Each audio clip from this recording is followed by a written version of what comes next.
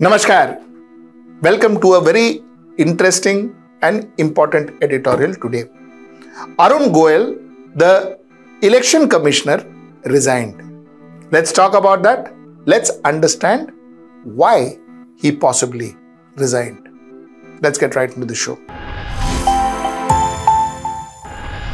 You see, Arun Goel, the election commissioner, resigning is. Uh, like I, I, I, I tweeted yesterday, it's not just surprising, it is very suspicious. And why do I say suspicious? I say suspicious is because the events just don't add up. Okay? The events just don't add up. Now let me start from the beginning and then you decide as always. Okay? Now what happens is the government uh, passes a bill uh, introduces a bill which becomes an act. And that bill says that uh, the Prime Minister of India, along with one Union Cabinet Minister, who incidentally is the Law Minister, and uh, the leader of the opposition. This trio will appoint the Election Commission. Election Commission includes Chief Election Commissioner and two Election Commissioners. So, three people. Now, the whole world and its mother said, Ye kya hai? What is wrong with you? Prime Minister and Union Minister, they are one. What value then is the opposition leader going to get to table? Because whatever the opposition leader will say, you will rule rule over and say 2 is to 1, finish. Opposition leader over. His views gone the dustbin. You see, the court, the judiciary had suggested that even the Chief Justice should be part of the decision making process. Now, a lot of people, including me, let me tell you, yours truly also said that listen, judiciary aane se everything becomes clean, everything becomes perfect, everything becomes absolutely uh, uh, squeaky clean and, and transparent and all. Iska koi necessary nahi hai. It's, it's not necessary that it should happen because this same judiciary opposition leader and the prime minister appoints uh, the CBI director. What happens? Is, uh, is the CBI director absolutely impartial? Is the CBI absolutely impartial? Those questions we had asked. But that being said, at least there was a four corner, which is opposition leader, the judiciary, the prime minister. And even if the prime minister had included one more minister into the panel, at least there would be two is to two. At least there could be a stalemate in this case, no stalemate. Prime Minister decides, the government decides. Why Prime Minister? The government decides ये आदमी को chief election commissioner बनाना है. That man is the chief chief election commissioner. ठीक है. Now, why would the government want to decide who, which man becomes the chief minister, the chief election commissioner or the election commissioner? You see, the government would want to decide because finally everything is decided by the election commissioner. Everything the date, the, the, the, the phases in which the election happens, uh, who is saying right, who is saying wrong, is Rahul Gandhi, whatever he says is, is all illegal and what possibly the, the, the uh, current dispensation says is all legal. All this is decided by the election commission. If there is a fight, who gets the symbol, who doesn't get the symbol? Election commission. So election commission is the karta dharta of elections in India, is the boss of elections in India. Now, for a powerful ruling dispensation, wouldn't it be very nice if the election commission is their person? Wouldn't it be very nice? Therefore, I'm not saying that that is what happened, but I'm asking you, wouldn't it very be very nice for the government to have the election commission who is somebody who reports to them? Okay, chalo. Now, this is one question that a lot of opposition also raised in the parliament. A lot of opposition raised in the parliament. Okay, chalo. So this is what the election commission is. This is how election commission is chosen. Now, there was this gentleman called Arun Goel. The election commission commissioner who resigned. Okay, na? Let's talk about him. And why I say that this entire resignation business no sounds a little suspicious. I'll tell you why, why, what, I, what I mean by that. You see, Arun Goel was working as secretary of the Department of Heavy Industries, before he retired under the voluntary retire scheme VRS on November 18th. 18 November he resigned. Resigned mane he took retirement, voluntary retirement under VRS scheme. One fine day. It is said that even the minister Mahendranath Pandey was not aware that his secretary was just taking voluntary retirement and going and saying tata bye bye and going. Okay, so he just left. He took voluntary retirement. Acha, now what happens is more surprising. On the 19th, that is the very next day, Arun Goel was appointed as the election commissioner. So, from heavy industries, he takes voluntary retirement 18th. Next day morning, he gets in as chief election commissioner. This did not only surprise us, but this surprised even the Supreme Court, where the Supreme Court asked the center to produce original files related to the sections because they too were surprised as to what, what, how this lightning speed may you appoint a election commissioner. So what does this prove? This proves that Arun Goel was somebody who was handpicked by the center because the chances for a IAS officer, IAS officer, if I am not mistaken, he is an IAS officer of 1985 batch. An IAS officer of 1985 batch, which means a very seasoned bureaucrat, for a seasoned bureaucrat to all of a sudden one fine day saying that, okay, I want to take uh, voluntary retirement and I am going to go, I am going Tata from today and without even informing, without even the minister knowing about it, takes voluntary retirement, next day morning sits as election commissioner. It is not that easy, no? It is not, it can't be coincidence, right? So there could have been some planning. If there is a planning and that is how he has sat there, which means that the people in power, people who can make him sit there, is aware of this or wanted him to be sitting there, which means that the center wants him to be sitting there. This much I can conclude. Okay, let me go to the next step. Now, he was the election commissioner. He was working peacefully one never heard any conflict except for some conflict with the with his uh, with his boss, the chief election commissioner. Except for one or two squabbles here, uh, one didn't hear much. I will talk about the squabbles also. I'll come to that, but one didn't hear much about him having any problem, especially with the government. Who wanted him there? Or the, the top people in the current dispensation, current government who wanted him there. There was no squabbles, were no problems, at least not to, not in public. Chalo. Now, why does it is resignation uh, surprise more?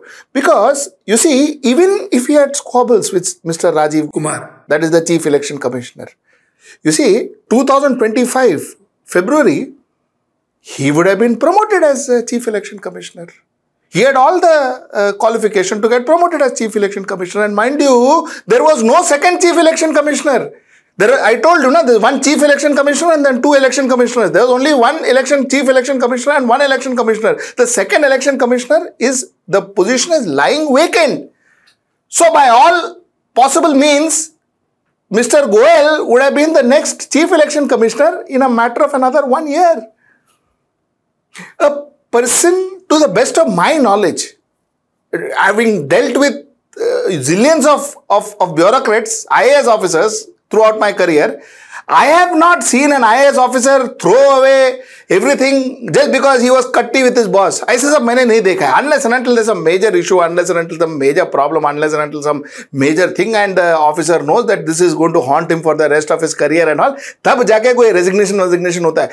Just because he knows the boss is there for another 12 months, but 12 months, why would somebody want to resign? Why would somebody want to resign? 85 batch officer. You see the career that uh, uh, Mr. Goel had.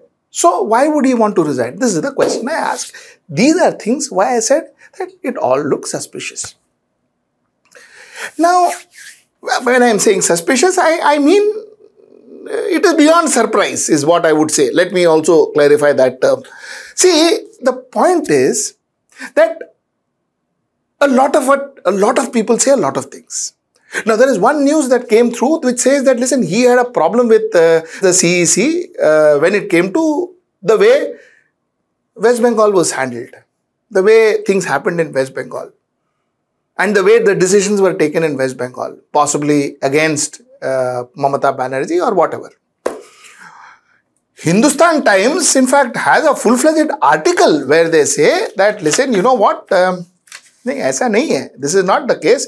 Hindustan Times says that the key point of difference was over the poll body's February 17th, 2023 order on the allocation of Shiv Sena's party name and poll symbol to Eknath Shinde faction on the basis of legislative majority, four officials told HT. Four officials told this to HT. Yes, major problem, in Hindustan Times, uh, they say that major problem that officer, officials told is that uh, this was regarding that Eknath Shinde and uh, Uddhav Thackeray problem, where, you know, the symbol was given into Eknath Shinde, which possibly Mr. Goel was not very happy about. Somehow, I am not convinced. I am not convinced. I am not convinced for the simple reason that logic dekho, the person who was appointed a person who was handpicked from heavy industries, appointed as election commissioner, was not happy with a decision that possibly went in favor of the same people who appointed him? Does that sound right? The fact remains that he put up his resignation and the very next day the resignation was accepted by the by the president of india that too is kind of very strange so the fact remains that there has to be something larger to this there has to be something where there has been some kind of a difference of opinion with the government who appointed him this is what i presume then the reason why I presume this is because it is only the government that Mr. Goel have to stay for next three years. It is only the government of India. Because finally, the, the CEC who he, he claims to have problems with will go in next 12 months. Not even 12 months actually. 11 months. He will go. He has to deal with the government of India. So if he has a problem with the government of India, then Baba, yes, then he will resign. So I would assume that this resignation is because there was some kind of a conflict between him and the government of India. Now, could that be because of Uddhav Thackeray? Possible. But why? Why so much so because of Uddhav Thackeray? And if it was, why wasn't that ever aired? Why wasn't there a voice of dissent? Why wasn't there, uh, uh, uh, like what Mr. Lavasa did? Why wasn't there a note of dissent? There was no note of dissent in this case. It was all done through straight. If there was a problem with West Bengal, why was there no vote of dissent or note of dissent where he said that Baba, I don't agree to this or I do agree to this. He has all the right to. Why wasn't there a note of dissent? So that is another, that is the point that I wanted to raise through this. Now what happens next? What happens next is there is one CEC, Chief Election Commissioner. Now under him, two election commissioners have to be appointed. For all practical reason, it will be done by the Prime Minister and uh, the government. The Prime Minister will finally decide with one Union Minister as to this person, this person, this person will be appointed. Ha, Mr. Kharge, Mallikarjun Kharge has all the right to oppose, but his opposition till such time that the union minister doesn't oppose to the prime minister's decision or the prime minister doesn't oppose to the union minister decision which will which is as good as no not going to happen. It will be the prime minister who will decide the next election commission. I just want to take you through one small point before i conclude my show is where uh, i want to read a, a, a small paragraph to you where this is from a letter and then I'll tell you the, the, who wrote the letter and to whom the letter was written and all later on. I will just read a small paragraph to you. The paragraph says the present system whereby members of the election commissions are appointed by the president solely on the advice of prime minister does not evoke confidence amongst the people. Keeping these important decisions as an exclusive preserve for the ruling party renders the selection process vulnerable to manipulations and partisans. Indeed, the credibility of the system was severely dented when a dubious appointment of a crucial office of CEC was made a few years ago. The time has therefore come to reform the selection process of the EC and other constitutional bodies, as has indeed been done in the case of the CVC and CIC. You know, this letter was written by Sri L.K. Advani, when he was a member of parliament, and he had written this letter to Prime Minister Manmohan Singh, wherein he said that, listen, you know what? ये election commission का जो चुनाव है ना you know the way you are going to choose election chief election commissioners and election commissioner this can not be a prime ministers decision this cannot be the ruling party's decision because it will sound partisan, man. How can you allow that to happen? The entire process will lose, lose credibility and, and confidence of the people. He said, listen, there has to be a process put into place, like you are doing CVC, like you are doing CIC, wherein you had uh, opposition leader, you have uh, the prime minister, and you have the chief uh, uh, justice of India involved. He says that's the way it has to be done. And uh, otherwise, you know, people will not have confidence. And that's precisely what's happened. And that's precisely what's going to happen in the next couple of days. You will very soon have a chief election commissioner and an election commissioner. You already have a chief election commissioner. And two new election commissioners selected by the union minister and the prime minister with the opposition leader agrees if he agrees if he doesn't agree also not make much of a difference this is the point i wanted to make one more 3 minutes story before i end my show now on the electoral bonds the chief justice of india and the Supreme Court has ordered SBI to share the information with the court by the 12th of March. No extension, they said, will be granted. So the extension given to SBI technically was from 6th of March, which they were supposed to, to the 12th of March. This is what the extension was given.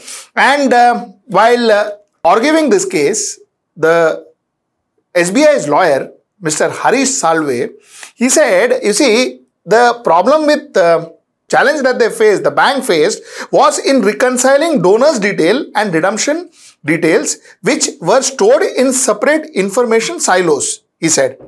He, so he asked and said that we need a little more time to comply with your lordship's order. This is what he said.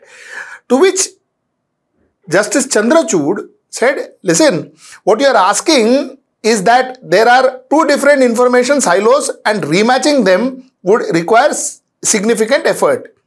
If you see the direction we issued, we did not ask you to do this matching exercise. We have simply directed plain disclosure. The grounds on which you seek additional time do not accord at all with the direction we issued. This was a a very very apt answer what he said is I want it in this format or that format. Did the court say? The court asked you to give all information that you have. Disclose all information that you have. This is what the court asked SBI. We didn't say that put it in this format and that format and this design and that design. We didn't ask. We said simply de do. So what is the problem? You have it in, in different silos, two silos. If it is in two silos, give it in two silos. We will figure out. This is what has been told to SBI. Now SBI will have to disclose by the 12th of March. If they don't, then it will be a contempt of court and they will have to face that those charges. Now, the fact is also like I told you before. Now let us see in what format will SBI uh, present to the court and the format that SBI present to the court, how can that be deciphered so that common people, common people like you and me can actually see it, understand what the, what the data is, who paid what, who are the donors, how much money was paid to what party, whether we can decipher that, whether we can understand that or will the entire uh, data be jumbled and, uh, and something that nobody will be able to understand. This this is something will be very interesting for us to note. Let's wait till 12th of March to find that out and um, I'll be back with you on 12th of March on this particular issue and uh, of course with my next editorial tomorrow at 10 pm. Till then, namaskar. Stay ahead with our cutting edge news app. Instantly access the latest shorts in just 1 minute and breaking news in just 50 words. Download now for a smarter, faster news experience.